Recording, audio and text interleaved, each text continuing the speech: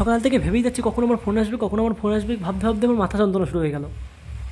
হঠাৎ করে বন্ধু ফোন করে বলল, এই তোর ফোনটা আজকে চলে এসেছে। আমি কি করলাম যে, না, এই আমার ফোনটা আজকে নিতেই হবে। যে করে হোক, আমি উড়তে উড়তে হেলিকপ্টারের মতন চলে গেলাম রাস্তা দিয়ে। যেতে যেতে দেখলাম, ও বাবা এই তো আস্তই রেখে দিয়েছে আমাকে মারার জন্য।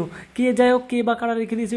তা আমি কী করলাম? কোনো দিকে না তাকিয়ে আমি দেখলাম রাস্তায় খোয়া থাকুক বা ইট পড়ে থাকুক, আমার দেখার দরকার নেই। ফোনটা আজকে আমাকে নিতেই হবে। অবশেষে হেলিকপ্টার নিয়ে পৌঁছে গেলাম সেই দোকানে, যেই দোকানে আমার ফোনটা আসবে। কিন্তু গিয়ে দেখলাম একটা দাদা বসে আছে, যে দাদা ফোন নিয়ে আসবে, সে দাদা এখনও আসেনি।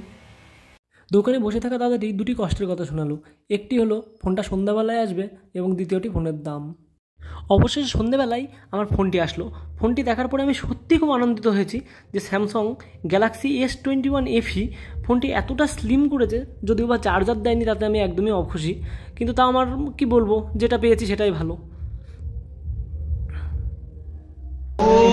কি? লাগছে বন্ধু। কালার দেখে নাও ঠিক আছে তো? আগু পুরো আগু বল বল চিন্তা কর চিন্তা কর। আরে এইখান থেকে এইখান থেকে এইখান থেকে এইখান থেকে বল আস্তে আস্তে। ফোন তো রোজ রোজ কেনে না কেউ। হাত কামা শুরু হয়ে গেছে? হ্যাঁ। সেটা দেখছি। হাত কাঁপছে কেন? ও সেই কালার তো অলিভ কালারটা নক করল ইয়ে পাওয়ার অন কর পাওয়ারটা অন কর কনফিউজ মানে আর মুখ দিয়ে কথা বেরোচ্ছে না উল্টো পাল্টা হয়ে যাচ্ছে। ঠিকই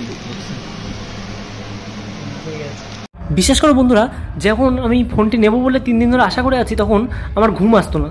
এখন ফোনটি নেওয়ার পরে আমি যখন গুনে গুনে গুনে গুনে টাকাগুলো দিলাম তখন এর পরে তিন দিন ঘুম আসছে না। খুব দুঃখ প্রকাশ করছে আমার টাকা। চলে গেল সব।